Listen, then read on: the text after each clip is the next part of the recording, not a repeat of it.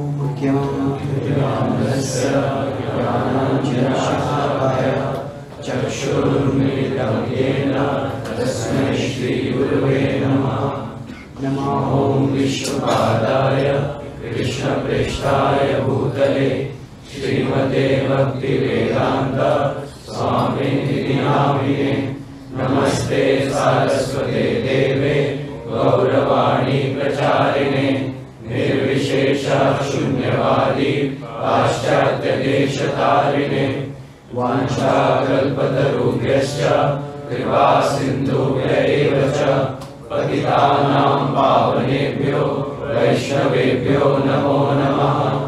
जय श्री कृष्ण चैतन्य प्रभु नित्यानंद श्री अद्वैत गदाधर श्रीवासादि गौर भक्तवृंद हरे Krishna, Hare Krishna, Krishna Krishna, Hare Hare, Hare Rama, Hare Rama, Rama Rama, Hare Hare. Now, dear Lord, please guide us all as we try to dive deep into the wisdom of the words that you have shared with us. And thus we can come closer to those words and closer to you. Hare Krishna. Hare Krishna. So I am grateful and delighted to be here with all of you on this, what we can call as the 18 session Gita Yajna that we will be trying to do.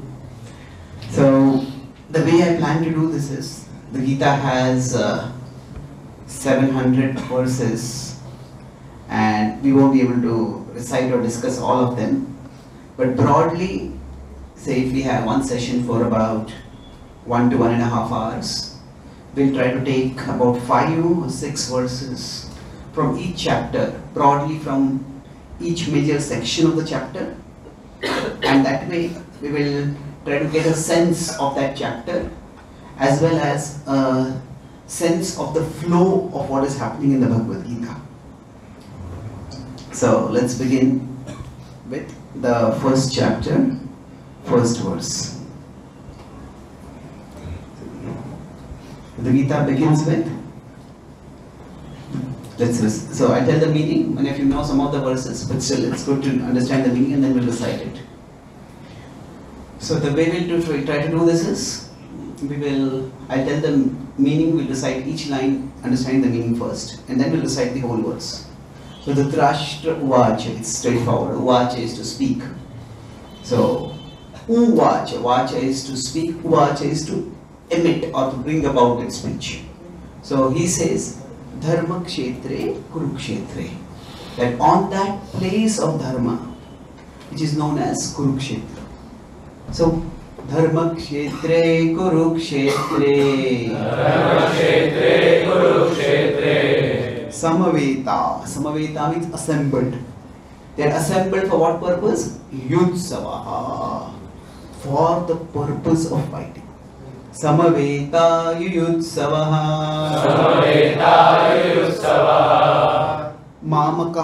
My my people it is my sons and పాండవాశ్చైవ the sons of Pandu both of them have assembled over there మామకః పాండవాశ్చైవ మామకః పాండవాశ్చైవ కిం అకూర్వత కిం means what అకూర్వత కూర్వత that comes from the word Kuru karma, what we have in Hindi, do. What did they do? Kim Akurvata Sanjay. Uh, he is asking this question to his assistant Sanjay, who is his eyes uh, and uh, eyes and basically ears for understanding what is happening on the battlefield, primarily the eyes. But he is asking him, Kim Akurvata Sanjaya. Kim Akurvata Sanjaya. So let us recite this once together. Vacha धर्मक्षेत्रे कुरुक्षेत्रे समवेतायुत्सवः मामका पाण्डवाश्चैव किमकुर्वत Sanjay So here, the Bhagavad Gita has how many chapters anyone knows? 18. 18 chapters. And how many verses? 700. 700 verses. Yes, I just mentioned that. So Now, out of these, the first chapter has 46 verses. And the first chapter is more or less setting the scene. The Gita as a conversation can be understood at broadly three levels. The Gita conversation, it is first of all a conversation between Krishna and Arjuna, and that has not yet begun. Hmm. Then, at a bigger level, the Gita is spoken as a conversation between Sanjay and Dhritarashtra. That is what has begun right now with Dhritarashtra's question. This comes in 1.1. So this is 1.1 to 1878. The core discussion between Krishna and Arjuna actually begins at 2.7 and ends in 1873. Uh, now before that there is some discussion that happens but we'll come to that. Now beyond this, these are two levels of discussion. Now at another level, so this is you could say the Gita as a historical conversation. So historical means what happened at a particular time in history. But beyond that, the Gita is also meant to be a conversation between the Paramatma and the Atma. So ultimately, the Gita, this level conversation is an eternal conversation. So what we want to do is not just study the Gita, but by studying the Gita, we understand that we as the soul Atma are there in our hearts, and the Paramatma, Krishna, is there in our hearts. Even our body is like a chariot, and within this, our Lord is present. So as we study the Gita, as we internalize the Gita, the Gita will become a part of us. And just as the words that Krishna spoke to Arjuna, those words at the right time will come to us. They will start manifesting in our heart, giving us guidance and helping us make healthier decisions. Just as the Gita helped Arjuna make a healthy decision. So we are right now at this second level of the conversation. So this is spoken. Where is this conversation happening? No, this conversation, second level conversation. Yes, correct. So the locations are the Krishna and Arjuna conversation is in Kurukshetra. The Sanjay Dhritarashtra conversation is in Hastinapur. So when this conversation is happening, he is asking, Dhritarashtra is asking Sanjay what happened. And the Gita starts with this narrative frame. You know, sometimes in a movie, the action can start right where the maybe the hero meets the heroine, or it can start with a background. You know, there is this family over here and this family over here, and these families are arch enemies. And then when that build up happens, and then when the hero and heroine meet, and then any relationship with them is doomed right from the beginning. So sometimes we can start right from the heart of the action and then give a background. Sometimes we give the background and then come to the heart of the action. So both ways are there. Sometimes there's a gradual build up. So the Gita is building up, and why this building up is going to happen is also going to be revealed as we move forward. But it starts with this outer conversation that Dhritarashtra is asking. And the first word that Dhritarashtra speaks is what? Dharma. It's Dharma Kshetra, but even then that, if you consider that to be a compound word, the first word is Dharma. And the whole Gita is Dharmam Samvadam Avayo. It is a question about Dharma. Now, what is the meaning of Dharma? That itself is a big question. And the Gita, at least uh, seven or eight meanings of the word Dharma come in the Gita itself.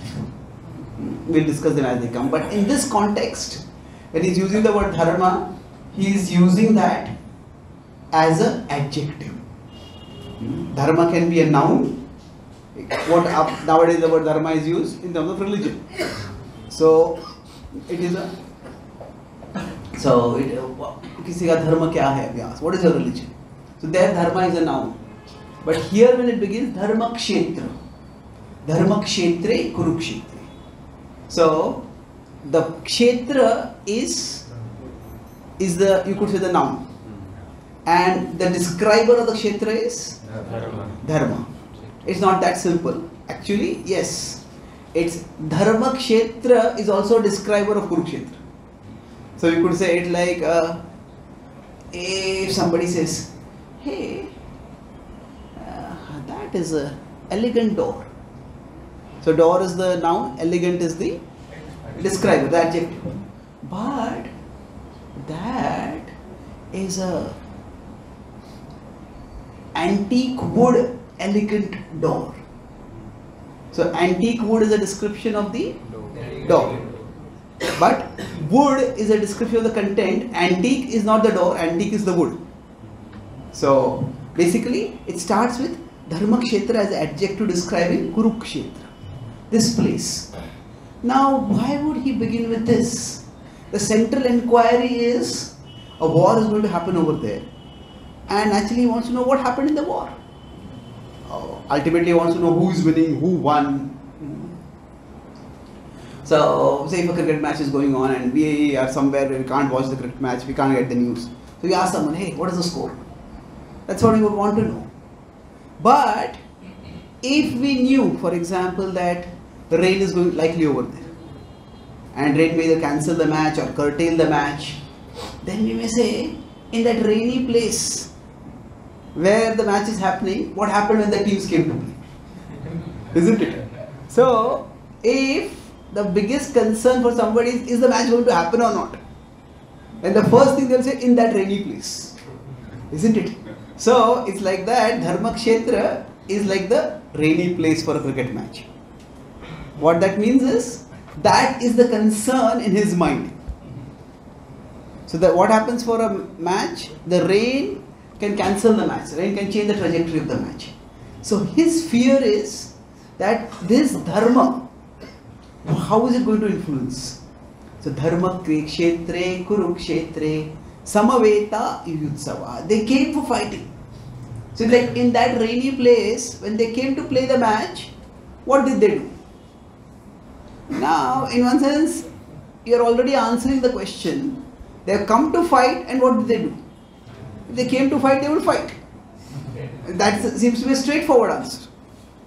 It's uh, see when somebody asks a stupid question.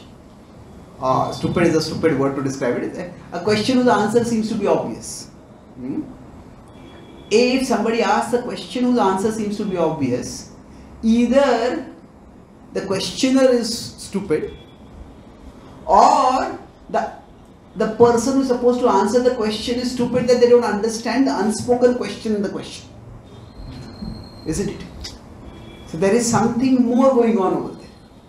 If they if say some terrorists have put a bomb in a hotel and then they know that that bomb is a time bomb and they, they want it to explode when all the guests have assembled and they are about to eat the food. So then they ask that when everybody sat down, everybody came to eat in the kitchen, what did they do? Duh, they ate. That would be the obvious answer. But the question is, did the bomb explode? Did they all run away? Did somebody warn them beforehand? Did they not come in over there? So there is here basically there is an unspoken question that is more important than the spoken question. So that is greater than, more important. The question is, what did they do? That's the spoken question. So the unspoken question is, how were they influenced by the place of dharma? By dharma. Now, dharma is virtue, sacred, holy. So, in that holy place, how were they influenced? So, that is his question. And Sanjay is intelligent enough to understand that question. That's why now his concern is that the war is going to happen. How will that dharma influence? So basically, now dharma broadly you could say it's piety, sanctity, uh, spirituality, holiness. This is a holy place. So now his concern is that primarily how is it going to influence Duryodhana? To some extent, Dhritarashtra himself knows that Duryodhan is on the choice of, on the side of Adharma. So Dhritarashtra is concerned how would that place influence Duryodhan? That is his question. And he's worried would that weaken him? Would that lead him to not fighting? Now, it could affect in many different ways. Maybe in the place of Dharma would weaken Duryodhan's will to fight. Maybe it would weaken Yudhishthir's will to fight because he may think we should not fight. So he wants to know what happened over there. So he starts with Duryodhan. And that's why the next verse goes to Duryodhan. And what does he say? Duryodhan saw Drishtva tu Pandavanikam Vyudham Duryodhanastada Acharyamupasangamya Raja Vachanam Abravit. So he says that on that battlefield, so there were the Kauravas on one side, the Pandavas on the other side. Right now the camera's focus is on the Kauravas. So he starts with here Duryodhan is on his chariot, and what he does is he immediately goes to the chariot of Drona. Acharya Upasangamya. Now, next to him is Bhishma. So, what he is speaking is audible to Bhishma also, but he is going towards Drona. Raja Vachanam Abravit. So, he starts speaking. So, here, why does the Gita start with this particular incident? We could say at one level it is because Duryodhana is concerned, Dhritarashtra is concerned about Duryodhana. But it's also going to depict Duryodhan's mentality. So when he sees, hey, the Pandavas have formed their military formations, their battle phalanxes in a very impressive and aggressive way. It's like say one team is batting and they have scored a mountain of runs. And then when the other team comes to bat, sometimes the team might be demoralized. If it's a T20 match and the other team has scored something like 250 or 300 runs. How are we going to reach that also? When the team comes out, they might be very demoralized because it's such a difficult task. But suppose the opposing team comes with full aggressive intent, then what may happen is the the captain on the other side may just run, okay, you know, hey, they're coming such aggressive mode, maybe we have to change our fielding arrangement. We have to make some change our plans. So Duryodhan is surprised, a little shaken also to see the sheer aggressive and impressive arrangement of the Pandavas army. And thus he goes to talk with Drona. And then, now why to Drona? See, generally speaking, if there's a captain, now Duryodhan is not exactly the captain, he is the commander. He is the person who is de facto the king. He is, although Dhritarashtra is the king, actually speaking. So in English there are two words, de facto and de officio. This is German. De officio means who is officially the king. Hmm? So de officio, who is the king? Dhritarashtra. And de facto, who is the king? Duryodhana. So this has happened eh, 10, 50, 10, 12 years ago in the Indian government. There's one person on the prime minister's chair and there's another person in power. so this word Raja in this particular verse, it has could have both meanings. Raja Vachanam Abravit. So it is Duryodhan spoke these words to Drona or or, or Raja or Dhritarashtra. These were the words that were spoken. That Raja can mean both. Hmm. So it is a subtle. It can also be like a subtle dig, a taunt at Dhritarashtra. You are sitting on the king's throne, but you are not really having the power. All the power is with Duryodhana, and he is going there. So Raja Vachanam Abravit. And then why is he going to Drona?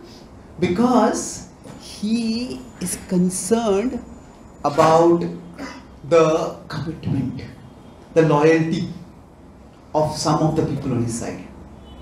So, among the people on his side, whose loyalty is Duryodhan most concerned about? Bhishma and Drona. They are both powerful, but both of them they didn't have the heart to fight. They would much rather have avoided the war. So, how committed they are, that is the question for him.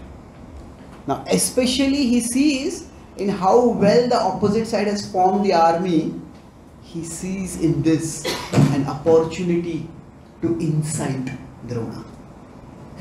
Because the opposite army's commander is Drona's disciple. Who is that? Yes, Arjuna is the major commander, but Drishtadyumna. Before the war, there is a discussion. Arjuna is by far the best archer on the Pandavas side. But should Arjuna become the commander? Well, if Arjuna had wanted, he could very easily have become the commander. But they all decide that Arjuna is such a good fighter, let him just fight. Let him not have to worry about the overall strategy and who is doing what where. So, like some some player might be a very good batsman, and if you put the make them the captain, that might detract from their performance as a batsman. So, let this person just focus on batting. So, like that, Arjuna was the person who was just told, just fight. Drishtadyumna was made the commander. It was almost a surprise choice that he, he was not such a great warrior, but he was made the commander. And it was Drishtadyumna who had organized the army. So he's saying, Tava Shishyena Dhimata. So he says that is your student who has organized it. And this student is also who? Drupada Putrena. He is the son of your rival Drupada. So basically, he's telling him, your softness has already caused this trouble. Now, don't be soft again. So, because you are soft, in what? You trained the son of your rival. And just see how he has made our work difficult. So, that's why he's taunting him. Don't be soft again. And then after that, he starts assessing both the sides. And he lists the soldiers on the opposite side, then he lists the soldiers on his side. And through all this, now what is he trying to do? See, like some people, you know, when something disturbing has happened, so, so they may, they may tell someone, you know, everything, everything will be all right. Somebody can reassure us, everything will be all right, don't worry. And somebody say, everything will be all right, don't worry. so he asked them, are you convincing me or are you convincing yourself? so, Dhritarashtra, so Duryodhan is both reassuring his army while also reassuring himself. So he is saying, yeah, they have many warriors on their side, but we have equal warriors and better warriors on our side. And then, as he continues speaking, then he has spoken and he realizes that you know, I have been speaking to Drona, and Bhishma may feel snubbed by this, may feel neglected, may feel disrespected. Eh, it's, it's a there's a key player who wants to, if the coach comes or the key player comes and talks to the vice captain and doesn't talk with the captain. So he says, actually, Bhish, Bhishma meva bhirakshantu. It has to conclude by saying that our whole army is protected by Bhishma. And he says their army is protected by Bhima. So why does he not use Drishtadyumna? Why does he use Bhima? Because when Drishtadyumna is the commander, for him, Bhima is the big threat. So Bhima is the mind, he says they are protected by Bhima. So he said, and he tries to say that the Bhishma is so powerful. So our strength is unlimited. Their strength is finite. So here there's a there's a lot of linguistic subtleties over here. But anyway, he tries to say one thing, but what happens sometimes words can have multiple meanings.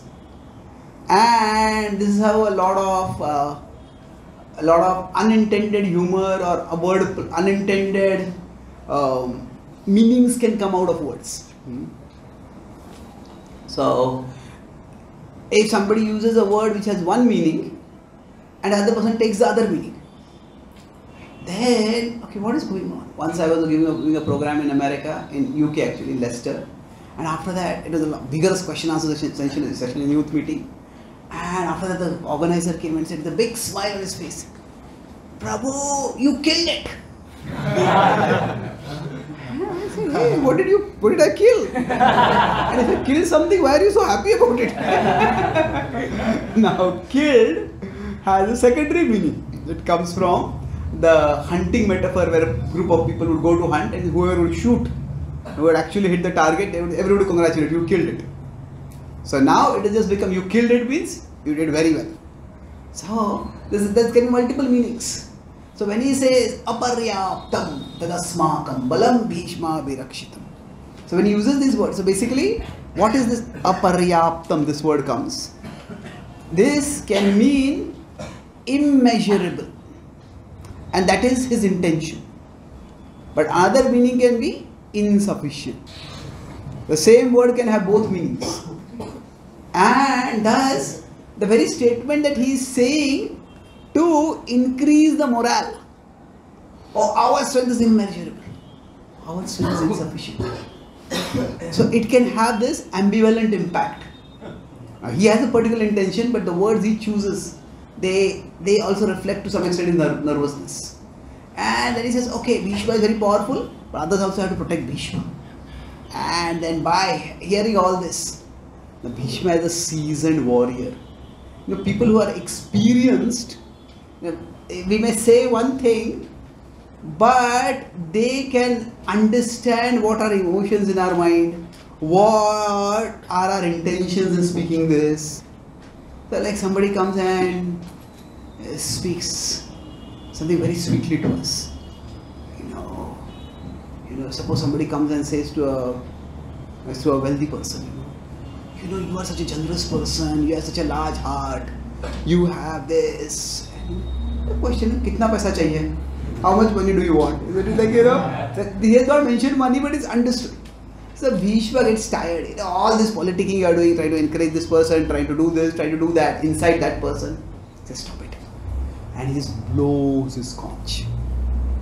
So when he blows his conch, the, the blowing of the conch is like the indication that the war is now about to begin. So in the past, war was like sports. Although people wanted to win, it was not win at all costs. It was test of strength and skill.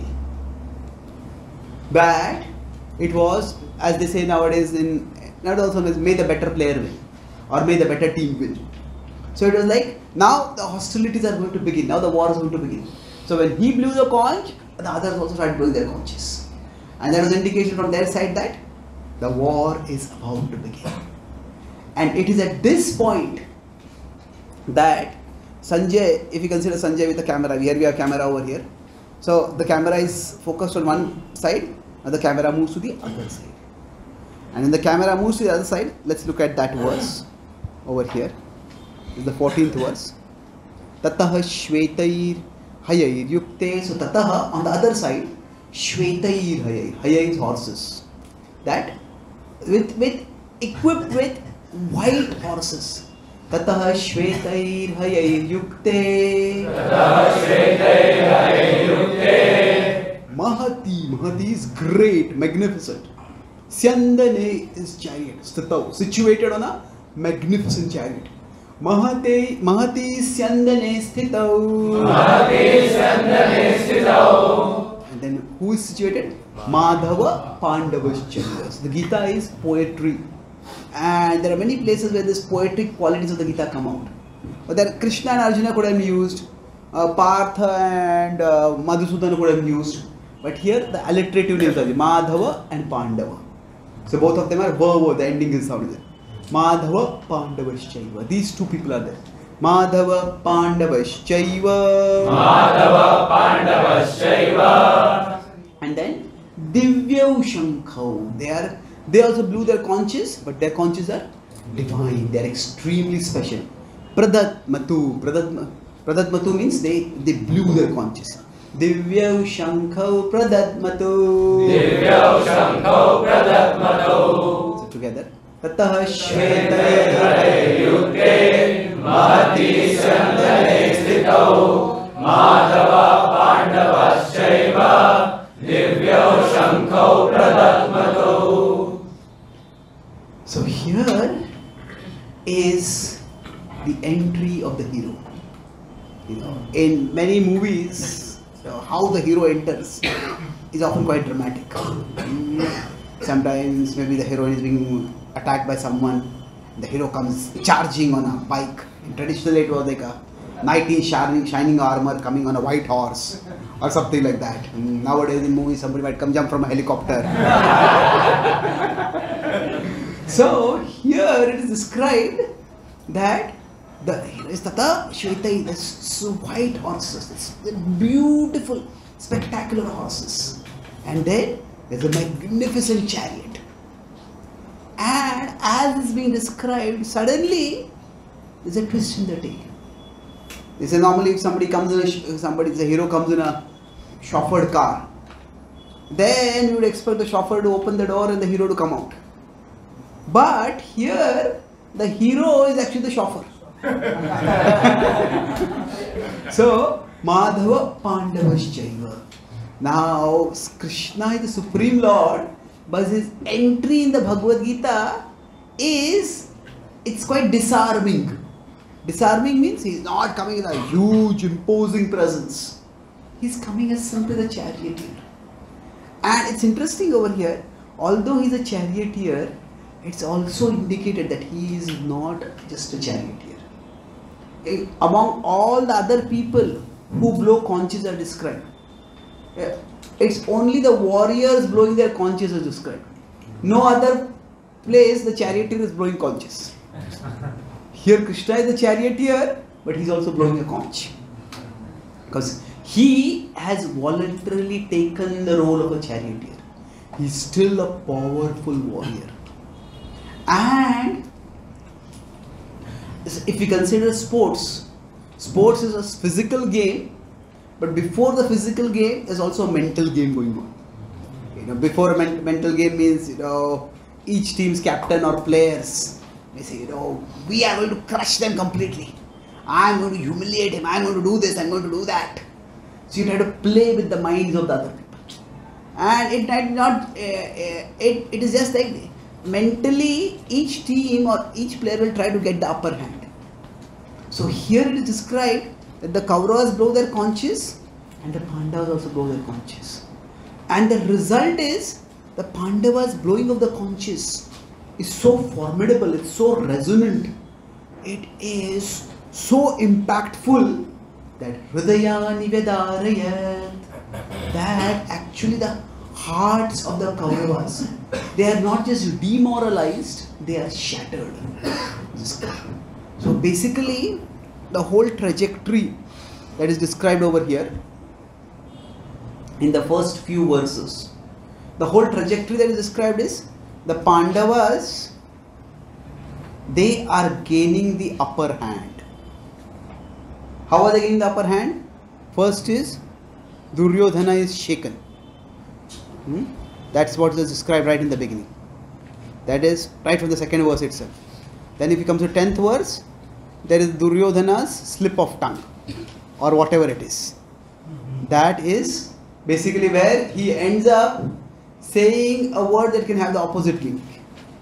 Then if we go further, when both of them, both sides blow their conches, then what happens is, in I think it's the 18th verse, Hridayani Vyadarayat, yes.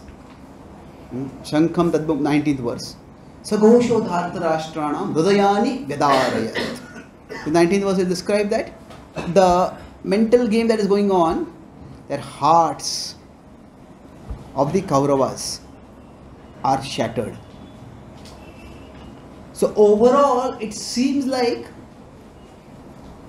the Pandavas are gaining the upper hand. The Pandavas are about to win, or they are moving towards the victory.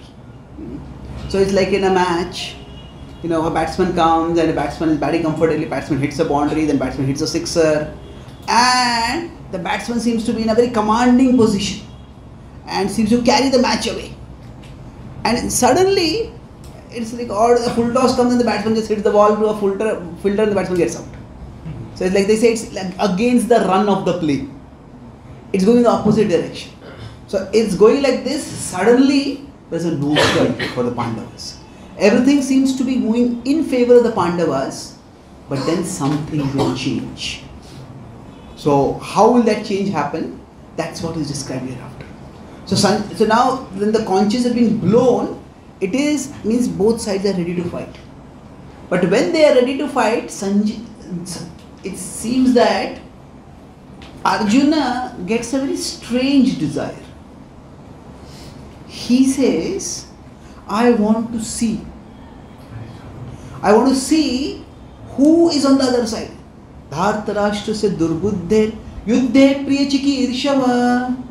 He says, I want to see who has come to assist, support the wicked son of Dhritarashtra. Now, when he says, I want to see, now the obvious question may come up here what is there to see?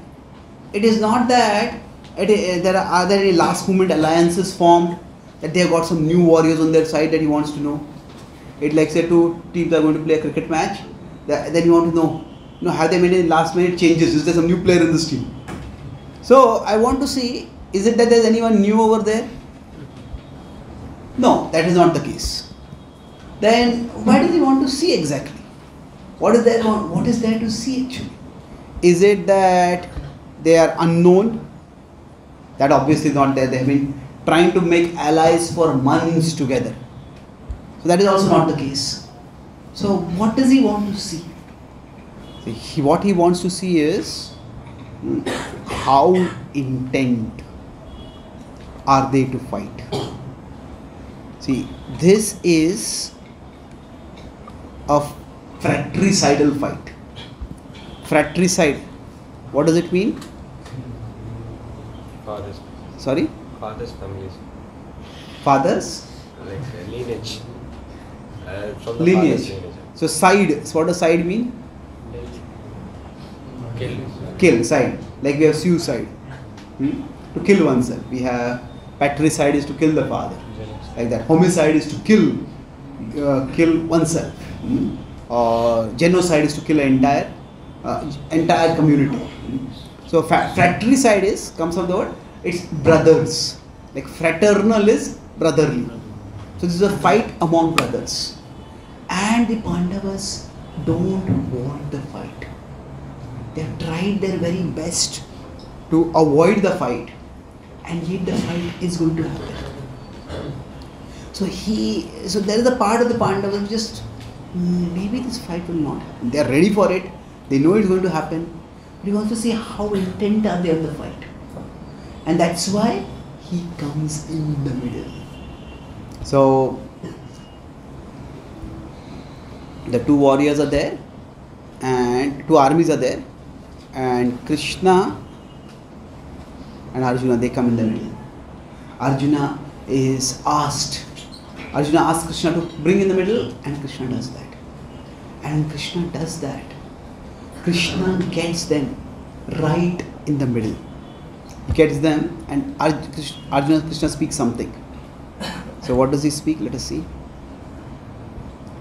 Bhishma Drona प्रमुख था so among all the warriors on the other side Bhishma and Drona are the prominent Bhishma Drona प्रमुख था भीष्म द्रोण प्रमुख था सर्वेशम all of them च महीक्षिताम they are all great kings they are great warriors सर्वेशम च महीक्षिताम सर्वेशम च महीक्षिताम उवाच पात उवाच means spoke. Partha Pashya etan. Oh Arjuna, see all of them warriors. You wanted to see? See all these warriors.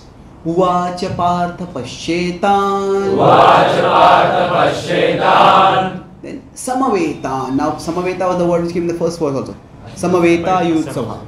So Samavetan Kuruniti. All the Kurus are assembled. Now the word Kuru here refers at one sense to the Kauravas who are the part of the ruling dynasty. But in one sense the Pandavas also are Kauravas. They are in the same dynasty. So Uvacha Partha Pashyaitan उवाच Partha पश्येतान् Samavetan Kuruniti. समवेतान् कुरुनिति So all of them are assembled. Let's recite this together once. प्रमुक्ता सर्वेषां च महीक्षिताम् उवाच Partha पश्येतान् So here Arjuna is wanted to see and Krishna is saying just see behold. Now you'll see over here the word Pasha comes in several verses. The idea of seeing. Start, uh, Arjuna speaks and he first says in that Yavad Etan Niriksheham by which I will be able to see ikshe. Nirikshe means I'll be able to see systematically. And then that's the 21st, 22nd first verse. Then 37th word. Yotsamanan aveksheham. I want to see. I will be able to see. Then, then Krishna says, see Partha Pashyetan. And then after that what happens is Tatra apashat. Pashya. I'll see again. So in this particular phase, this, this idea of seeing is Tan Samiksha Sakonteya. So before Krishna says Pashya, Arjuna talks about seeing twice, and then after that, Sanjay narrating also talks about seeing. So here, what is being what is signified by using the same word again and again? Hmm. So is it that Krishna or same idea is being talked again and again? Sometimes in different words, sometimes even the same word. So th- the point is that here, this seeing hmm, has an impact, and the impact of the seeing is that it becomes confusing for him. He gets confused. His vision, what he sees, it vision it steals away his determination so he has come with a particular determination but his determination goes down. So bhishma drona pramukta. Now among all the warriors the two warriors against whom arjuna has absolutely no desire to fight those are bhishma and drona. They are his venerable elders. No, they are the people with whose encouragement and blessings and guidance he's actually learned to fight. And now he has to fight against them. When he sees them assembled eh, and they are warriors, although it's a difficult duty, they are ready for their duty. And when they are, he sees them ready to fight, he just becomes overwhelmed. He's thinking, how can I fight with them? and he starts pouring out his heart in confusion and despair. This, is just something I do not want to do. And what what has happened to him? He's basically thinking that if I fight against them, what am I fighting for? what is it that exactly I'm saying? Is these are a whole, not just one generation. He will list, then eventually there are multiple generations from grandfathers to fathers to his peers to his sons to his grandsons. All those are assembled over there. Now, Arjuna has fought against this army before. Recently only. When was that? So now, interestingly, when he had fought at Virat, the generally in a war there are the odds. Odds means how likely is it to win. So in Virat the odds were actually tougher. Arjun was all alone over there, and the entire Kaurava army was there. So the odds were tougher at that time. And at that time, Arjuna does not become sentimental. Arjuna is not overwhelmed by confusion or hesitation, emotion in general. But now Arjuna is overwhelmed. Why is that? That is because the stakes there were lower. Stakes means what is at stake? In that war, Arjuna had no desire to kill any of them. Arjuna just wanted to stop them. He wanted to protect them. They had attacked the Virat's kingdom, and Arjuna wanted to protect them. So he also wanted to show them his strength, by which they would understand that the Pandavas cannot just be walked over. They cannot be neglected. They are a force to be reckoned with. But the idea is just show them the power, and hopefully they will come to a peaceful uh, peaceful negotiating table. Reconciliation will happen. But now, when the war was going to happen, one side was not going to go back alive. And therefore, the stakes were much higher. It's like say two teams say, eh, which are say India and Australia meet in the league stages in a World Cup, and maybe some of Indian players are resting or some Indian players are key players are injured. In the stakes, the odds may be tougher, but okay, it's just a league stake match, stage match. Even if you lose, it's no big deal. But say the two teams meet in the finals, and then the stakes become much higher at that time. So like that, here the stakes are immensely high. And thus Arjuna feels torn. And when he feels torn, so what is his concern? What is his fear? He gives a series of verses, but let's look at some key verses which show his his concern. So he says, he lists out all the warriors are there.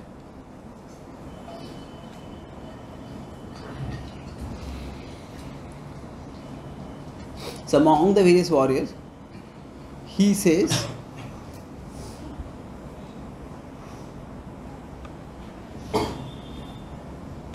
some of the verses. Okay, let's first go back to another verse.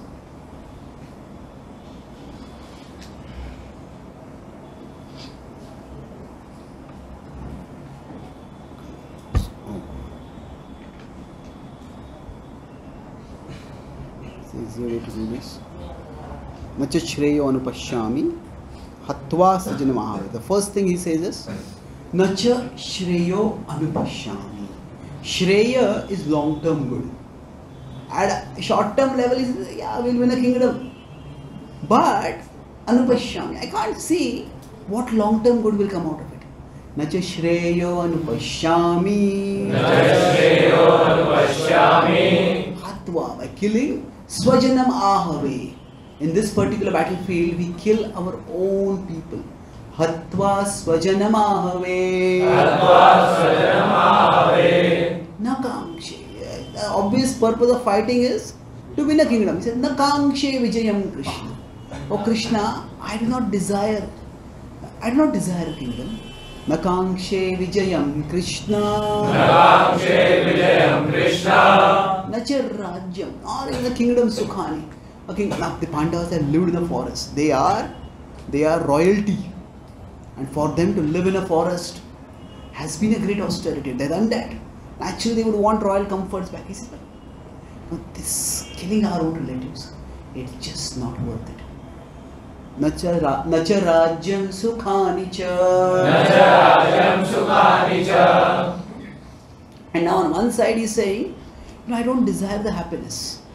But he's also, next he says that if we fight, actually papa meva shreyadasman. That will be sinful for us. to kill all of them. They are, they why will be sinful? Because Swajana, they are our relatives. And you say that, but you know, they, if you don't kill them, they are they are greedy. It's okay, they are greedy, but then they are greedy for a kingdom, and that's why they want to fight. But now, if we want to fight, then how are we any better than them? We are also greedy. And the difference is that greed has closed their eyes. But just because greed has closed their eyes, why should I let greed close my eyes? You know, I can see that the cost of this will be terrible. And then he uses the term Kula Dharma. He says, This is our dynasty. Protecting our dynasty is so important. How can I go about causing destruction of my dynasty? So many times people think that Arjuna just became cowardly. But Arjuna absolutely has not become cowardly. Because in all the reasons that Arjuna gives, not once does he mention fear of his own death. Not even once. So there is fear, no doubt. Arjuna has fear. If we see, he the emotion that he's going through is he says that my hair are standing, my limbs are trembling, my skin is burning, my bow is slipping. So all of this indicates that he's surely overwhelmed by emotion. And from there, the emotion that he is, the fear at one level is overwhelming for him. Hmm? But what is the cause of the fear? It is not his own death. He's not afraid of death. His fear is of wrongdoing. He says this fight itself may be the wrong thing to do. And if I do something wrong, the consequences will be disastrous. It's like in a pandemic. Suppose there is uh, doctor who has been appointed to save the patients and say maybe there is the prime minister of the country who is mortally sick. And that prime minister is also severely infected. Now treating the prime minister could mean the doctor might get the infection. Now that could be one reason for hesitation. You know, i don't want to treat it. Another could be this is a very critical case and maybe I don't know how to treat it. I don't know what treatment to give. And if I do something wrong, then the country will lose its leader. What might be the consequence of that? Maybe riots will break out, maybe unscrupulous elements will take advantage, maybe enemies will attack. So, here is if a doctor doctor has fear of treating um, infected patient. Is the prime minister. Now it could be fear of being infected. That is one fear. But the other fear is the fear of giving wrong treatment. So now are both fears the same? Not at all the first is a very self concerned fear, self centered fear. The second is the fear that comes from being responsible. Sometimes the uh, sometimes people give seminars how to conquer your fears, how to become free from all fear. If a person is free from all fear, the person around people around them should be full of all fear. See, fear, it is actually a natural protector at one level. If I'm a, if somebody is driving uh, driving a car and say I have no fear of any accident, then people in the car say we have too much fear. We'll get out right now. so yes, we should not be conquered by our fears. We should not let our fear control us. But fear is a natural psychological mechanism that alerts us to danger. So, sometimes the more responsible a person is, the more fear they may have because they are aware of the responsibility. One of my friends is a pilot and he tells me that every time he, he loves flying planes. He said, since my childhood that was my aspiration. But he says every time I have to fly. It's exciting, but it's also a grave responsibility. You know, if I make a mistake, now of course there are a lot of um, machines warning and supporting, and there's a co-pilot and everything. But still, if I make a mistake, oh, people would lose their lives. So this is a fear coming from being responsible.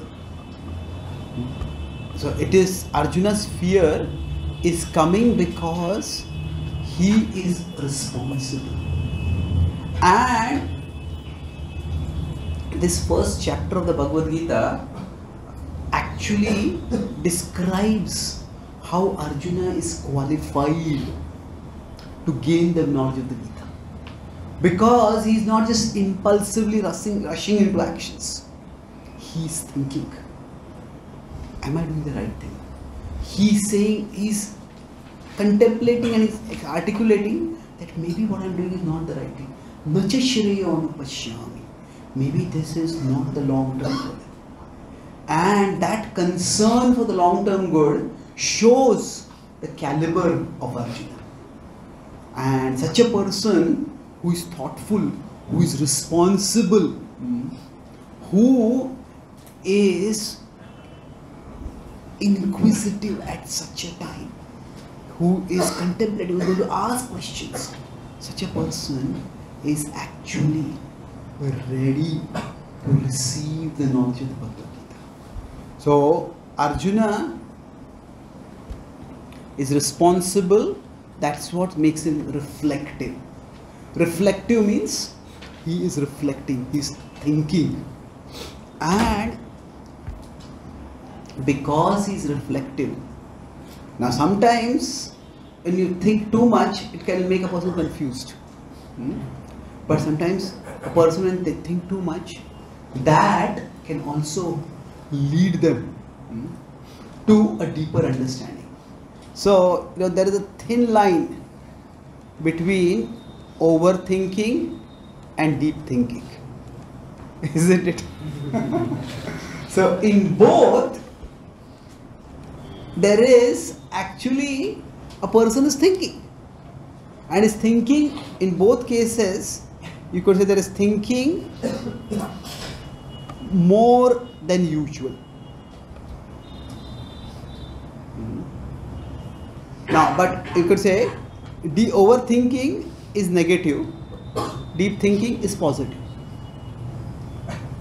So, the Gita will actually take Arjuna. In chapter 1, Arjuna is doing, in some ways, he's thinking, but his thinking is going towards overthinking.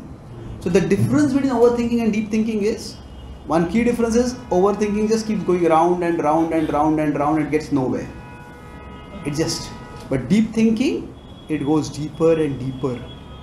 So, deep overthinking is basically uh, it is pointless or aimless. It is deep thinking is directed. It is overthinking is directionless. So it just goes round and round and round. So Arjuna's thinking right now is going round and round, and that is not good. But still, the fact that he is thinking, that is good. That is laudable. And now, as Arjuna is thinking, we come to the last verse in the series. So, what is Arjuna's essential dilemma over here? That will be articulated towards the end.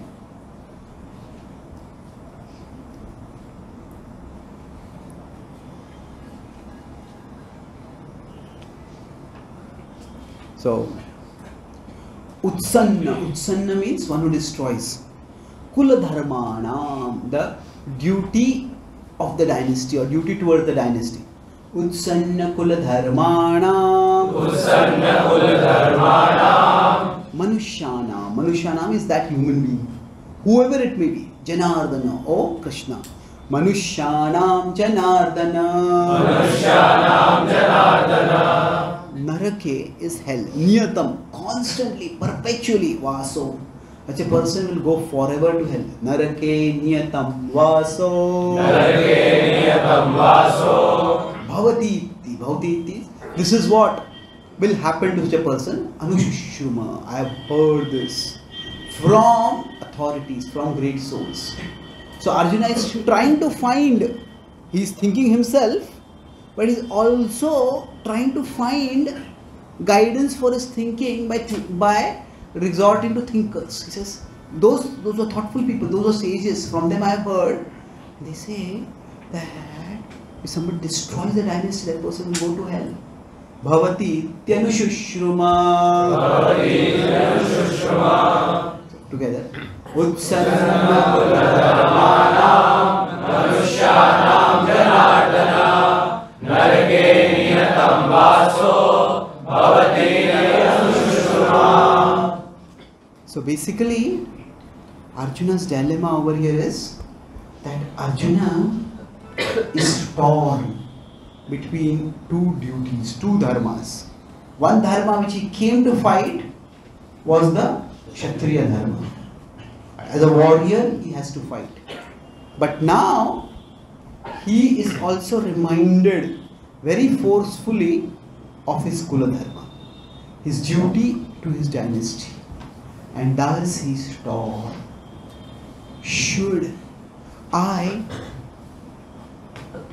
do my professional duty or should I do my dynastic duty, my family duty? Which one is more important? So imagine if there's a doctor hmm, and doctor has a critically ill patient who needs an organ transplant. Hmm. Now, that person is a very important person and they need organ transplant. If they get the organ transplant, they'll be saved. And wherever an organ is available, the doctor should get that organ. But imagine at that same time, the doctor's son has met with a lethal accident. And they may die or not die. It's likely, but you don't know. Is he going to die? And then that organ can go to this person.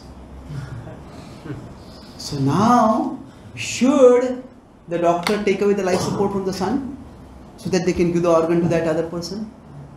Now we say that oh this this son has been so critically met with an accident that the chances of survival are practically zero. But still, like my son. I would like my son to live for as long as possible. To try to keep the life support as long as possible. If I take out the life support, it's like I am killing that person. So the professional duty says that say uh, save this patient. Maybe that patient's likelihood of being saved is very high. But if that patient doesn't get the uh, organ, okay, that's bad. But if to give that patient the organ, I have to remove life support from here. So, in one sense, you could say here, both of them are critically ill, but there are high survival chances here. Hmm? And here there are, for the son, low survival chances. But still, it's not an easy decision. So Arjuna feels that how can I fight over here? if I if I fight, I'm going to kill my own relatives. Yes, I'm a warrior. I'm meant to fight, but but these are my own people. Now, of course, other part of Arjuna knows that just because I don't fight doesn't mean the war is going to get over. I may not want to fight, but the Kauravas are not likely to stop fighting. Even if we just give up our claim to the kingdom, the Kauravas may still chase us and attack us in the forest. And then will I not protect my own family? I may be ready to die also. but will I be ready to see my own brothers and my wife being killed? Or even if I, if they don't persecute me, there are so many warriors who have come to support us. The Kauravas will try to settle, try to persecute them. You chose the opposite side. Like in a political party, you know, if say the two political parties are there in uh, in an election, and say one party wins, and they try to find out who support, who gave funds to the other political party. Now we will teach you a lesson. You supported them, so oh, they will get after. They will go after our allies. Can I can I watch that happening? So basically, for him, he sees how horrible fighting will be. On the other side, he says, not fighting is also no real solution. So he becomes so overwhelmed that he just puts aside his book. Visrujya sasharam chapam shoka samvigna manasaha. So the chapter ends with Arjuna putting aside his bow. Arjuna saying. He basically says, I won't fight. But it's more, I just don't know what to do. I just don't know what to do. And this Arjuna's bow, actually, it represents our determination. You life can put all of us in situations where we lose our determination. And at the start of the Gita, Arjuna's bow is lowered. Hmm. By the end of the Gita, Arjuna's bow will be raised once again. And the Gita helps Arjuna regain his vision, regain his determination, regain his enthusiasm. And similarly for all of us, life's perplexities may just discourage us, may make us want to put aside our hope. But if we understand the message of the Gita, we all can be inspired to raise our hope in readiness to fight. So, how that happens, how the Gita gives such a morale boosting message, that we'll discuss over our future sessions. So, I'll summarize what we discussed today. Broadly, in this chapter one overview that we did, we discussed, we started with discussing of 1.1, we discussed how the significance of the word dharma. That is, the question over there is, what influence is it going to have? Hmm? That's why he asked, that, at the dharma kshetra, what happened? So it's a self-evident question, but it's not actually a self-evident question. There's something deeper going on. And what it shows eh, from 1.2 to 11 is that there is no influence on Duryodhan. That Duryodhan continues to be his normal politicking self. Although he's shaken, but he tries to cover it up and he continues politicking. You know, incite this person, speak this way to that person, try to goad that person. So, dharma has no effect over there. But then, what happens, we discussed is that in 1.14, we discussed Krishna's entry. And over here, all that is going on is basically the Pandavas are seem to be getting a upper hand. The, the way things are moving is that first Duryodhan was shaken, then he had a slip of tongue. He spoke some. Then what happened was that their hearts were shattered when the conches were blown. So overall things seem to be going in a particular way. But then suddenly something happens. What is that? Actually, dharma has an influence on Arjuna. The place of dharma does not cause any rethinking for Duryodhan, but it causes rethinking for Arjuna. So Arjuna sees, and after sees, what happens is he feels, he feels fear. He feels fear, but the fear is not of death. It is the fear of, fear of wrongdoing. So, we discussed how here Arjuna is, he is actually responsible and he is reflective. So, these are his qualifications that have been demonstrated for receiving the Gita. He will be able to receive the knowledge of the Gita because he is responsible and reflective. We discussed the responsible means like a doctor worried what I should do, what I should not do. Uh, that not because the doctor is afraid of catching the infection, but doctor worried that I may not be able to treat the important person properly. Then we discussed what was Arjuna's dilemma. Dilemma was two duties were pulling him in opposite directions. One was his Kshatriya Dharma, which he had come ready to do. That is, I'll fight. Other was his Kula Dharma. How can I fight against my relatives? And he just felt torn. And then, lastly, we discussed how eventually mm, that Arjuna, who is demoralized, Arjuna's Gandiva, it was bow, it is lowered, but by the Gita's message, it will become raised. So, same way, we started by discussing how the Gita is a three level conversation. So, it is a Krishna Arjuna conversation, Sanjay Dhritarashtra conversation, and it is a Paramatma and Atma conversation. So, at this level, we all can also become energized, enthused, enlightened by the Gita. And this is, in fact, the timeless objective of the Gita. But when we feel overwhelmed, when we feel confused, how can we elevate ourselves? So, I have written a small poem which describes Arjuna's plight in chapter 1 of the Gita. So, I will read this out. So, Arjuna is feeling, How, oh, how can I fight and kill those whose pleasure is my heart's will? A kingdom is worth no more than mere mud if it's got at the cost of their blood.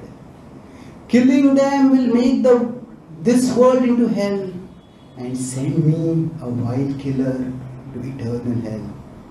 Better I live penniless or die defenseless than fight for a greed that makes me heartless. Fighting this war is a thing never to do. Fighting this war is the only thing to do. So shout two parts of me with much ado. I don't know, I just don't know what to do. Shri Bhagavad Gita ki Jai. So, do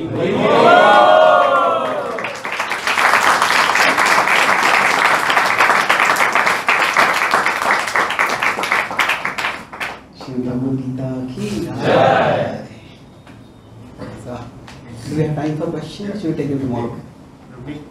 We'll take a few questions. How many? You have some mic? Yeah.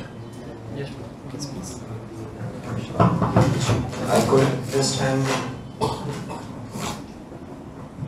like uh, how Arjuna is very well qualified for receiving Gita's knowledge. Like he didn't thought about all this before, like there were months of preparations going on. He's just thinking like at the right moment. Now it's time to fight. Everything is prepared, everything is at its peak. Yeah. Now he's thinking about it. So it's oh he's like very well qualified for Well, it's okay. It is not that they had not thought about this. Before the, this is the Bhishma Parva. Before that, there are two Parvas. Mainly the, the Udyoga Parva. So in the Udyoga Parva, the Pandavas are doing two things. They are gaining allies for the fight, and they are trying to do peace negotiations to avoid the fight. And there is that deliberation happening. So this whole point of Kula Dharma and Kshatriya Dharma, these two duties, Yudhishthir talks about it, Krishna talks about it. That's why there is a lot of hesitation and deliberation. But this comes at a flashpoint. That when the actual war is about to happen, these questions come with a far more crushing impact. It's uh, when the actual situation comes, the gravity of it becomes much more real. Like say, somebody has to become a surgeon, then you have to actually cut open a human cadaver, a human body. Now we say, yeah, I can cut it. It's actually when you see a human body, even if it is dead, you start cutting it. At that time, it's not easy. So Arjuna has thought about this earlier, but now when the gravity, the immensity of the situation comes upon him, it all registers with far greater force.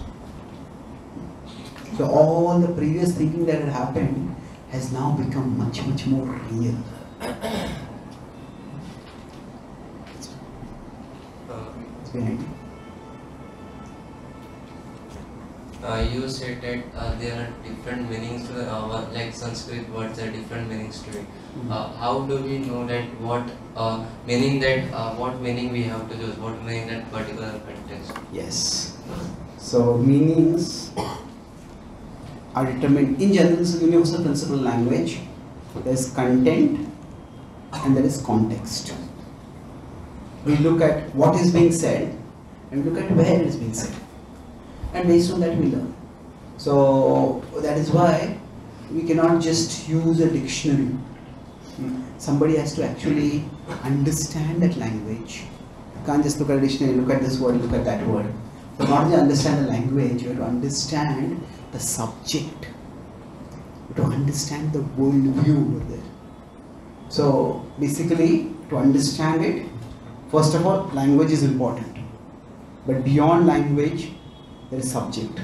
Just like say, uh, suppose there is some very important book on physics that is in English, and say it is to be translated into Hindi. So just because somebody knows English very well, can they translate that book? Yeah, knowledge of English is necessary, but you need something much more, isn't it? Because physics is a subject in itself. So first, language of English is required. Then language of the so kno- kno- knowledge of the knowledge of the language is required. Then knowledge of the subject is required. Then after that, it is best if there is knowledge of the author also, because each author speaks in a particular way, writes in a particular way. So that's why to understand the Gita, one needs knowledge of Sanskrit, one needs knowledge of the philosophy of those times, and one needs knowledge of the speaker Krishna. When all these three are there, then that person is actually qualified to properly understand and explain the Gita. That's why the Gita has a commentarial tradition. And a person who has who doesn't uh, come as a part of the commentarial commentarial tradition, that is the tradition of commentators. They may write something on the Gita, Prabhupada would say often that such such translations of the Gita, they are not Bhagavad Gita as it is, they are Bhagavad Gita as you are. so basically, we bring our own conceptions into Gita at that time. Yes, please. Okay, the mic is here. Give you here first. Go, give it here, Prabhu. Hare Krishna Prabhu, uh, first thank you for giving such an interesting explanation on the first chapter. Uh, like my doubt is regarding the overall discussion of Bhagavad Gita. Uh, like um, if a friend, uh, uh, if a friend asks from his friend about the uh, how to play cricket, he will answer about that topic.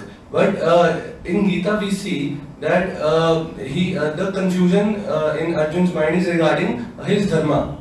But Krishna has answered other things also, like uh, Karma Yoga and Bhakti Yoga and all other stuff. Like uh, the other friend is giving the rules of cricket and tennis, golf, geography, history, all things, other things also.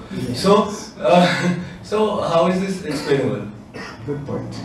It's going to come in tomorrow's session, but we have mentioned it over here. See, into any book, you know, it has every every book, any every narrative, a movie, it is there. There is something which is specific, and there is something which is universal. So if you consider any movie, the movie might be how hero, this hero met this heroine, how they did this, how they did that, but there are some universal themes there could be class differences between wealthy and poor. There could be caste differences.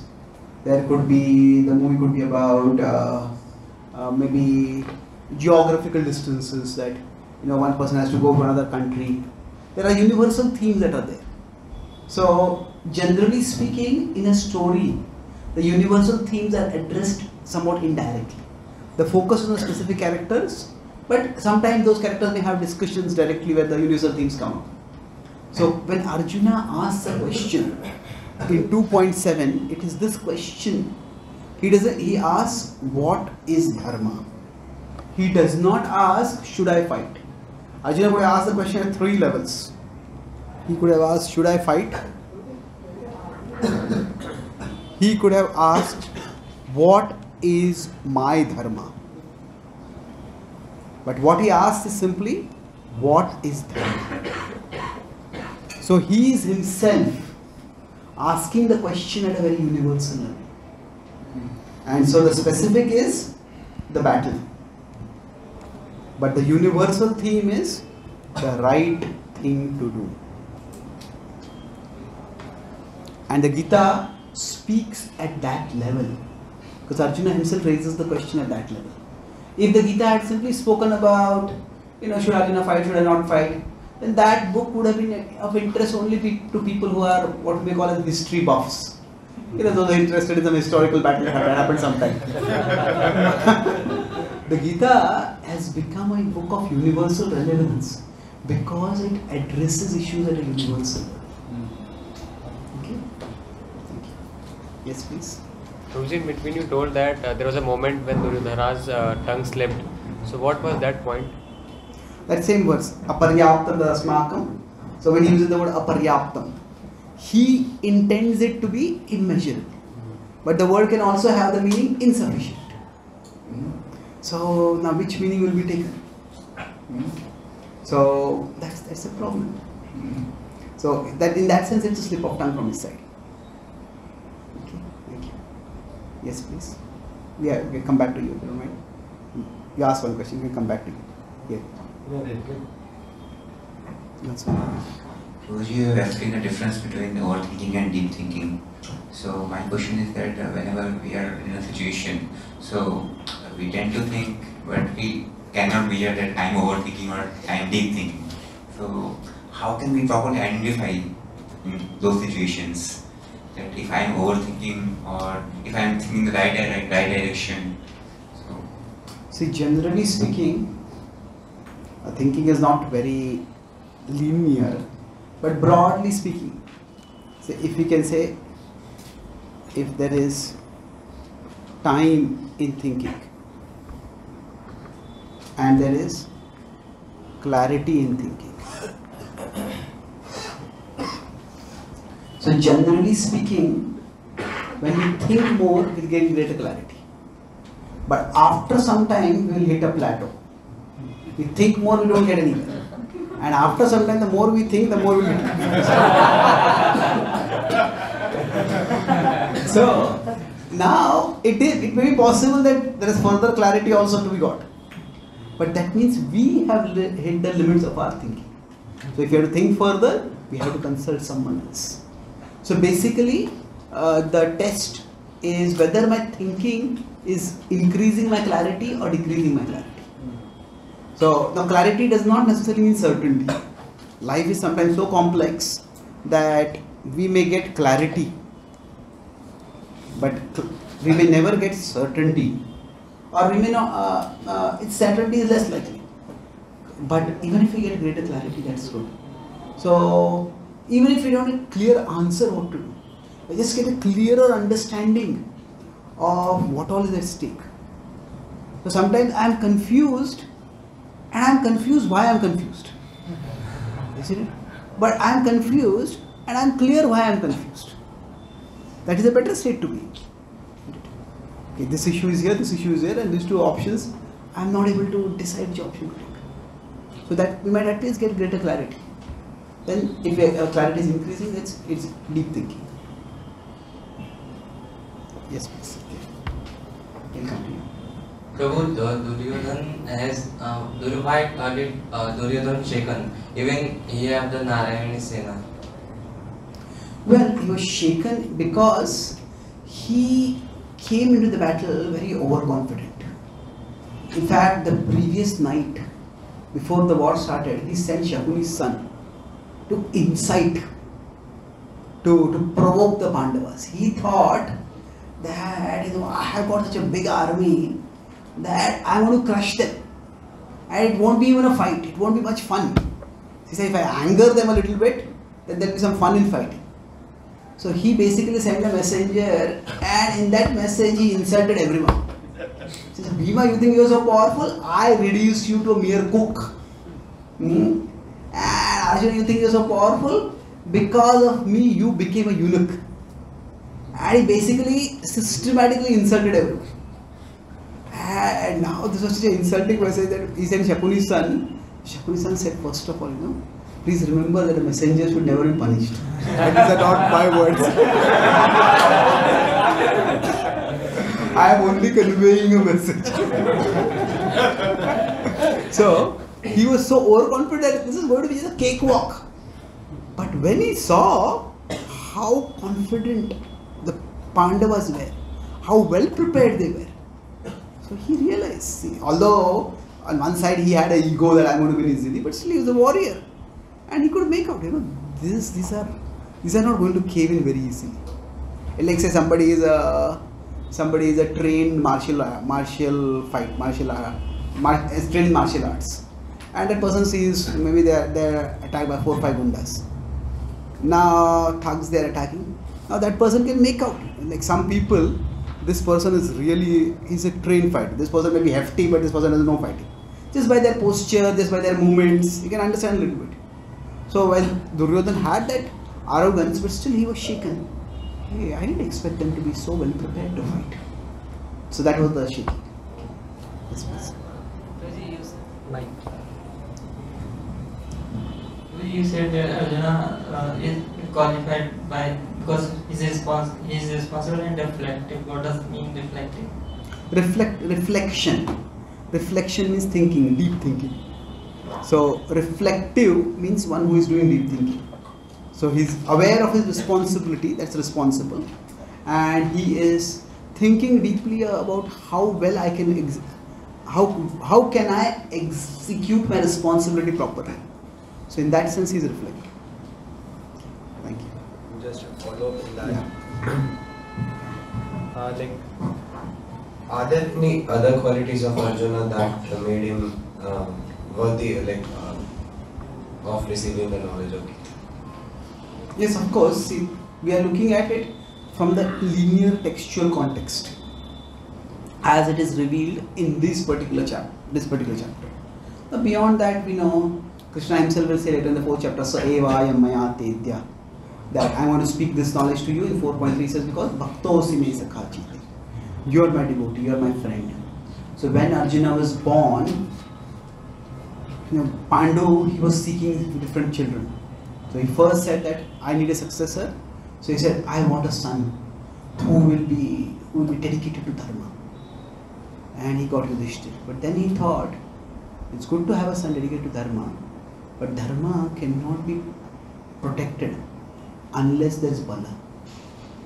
So he said, give me a son with great bala. Whom did he get by that? Bhima. And then he thought deeply that yes, dharma, bala, all these are important, but ultimately, bhakti is the most important thing. So he said, I want a son who will be a great bhakti. And then he got Arjuna. So Arjuna's devotion is an important qualification. However, the Gita, in its narrative in the first chapter, does not focus on that. Thank you. So, Last question. After what my what with his big what thought he has asked for other childs like Nakul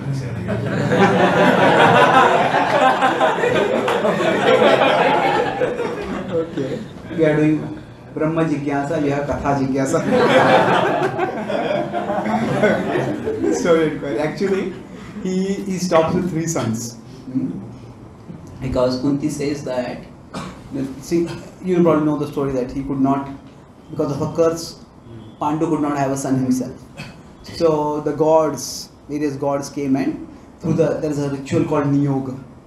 Niyoga means that if a woman, for whatever reason, if her husband is dead or whatever reason, the husband is not able to get a child, then some other respectable male can come and beget a child, but that child is considered to be a member of that dynasty, not that man, and that man and woman should not have anything to do with afterwards. So that's how they had these three children. And in this case, Kunti had a bene- benediction by which she could ask for the devatas. So she asked for three. And then Pandu wanted more, but Kunti said that in according Shastra, that this Niyog is an exception. And you can say, generally if somebody is a king, they need a heir. You know, heir is the successor. And they may need a spare. Spare means if something happens to the heir, you have a spare. now you can have a spare spare also. a third child. But he says this is not a provision to be misused. So they say that niyoga should not be used more than three times. So Kunti quotes that. And Pandu agrees. But then after that as Kunti's children are going on, Pandu has another wife, Madri. And she feels this great sense of emptiness. I don't have any children at all. So she approaches Pandu and she expours out her heart to him. And he says, Pandu, Madri says that if I request Kunti won't listen, but you please tell. And then when he tells, Kunti agrees, and Madri thinks that uh, you know I may not get many chances from Kunti. So she calls the Ashwini Kumaras, who are twin brothers. She gets two sons. And Kunti says what she asked. He says, if she asks for two more, he will have more children than me. So he says, no more after this. So the two children who he has, Nakul and Sahadev, they are more from uh, desire. So at that time, Pandu doesn't ask for specific qualities over there. Thank you very much Shri Krishna भगवान की श्रीमद भगवद गीता की श्री प्रभुपाद की गौर भक्त वृंद की जय गौर प्रेमान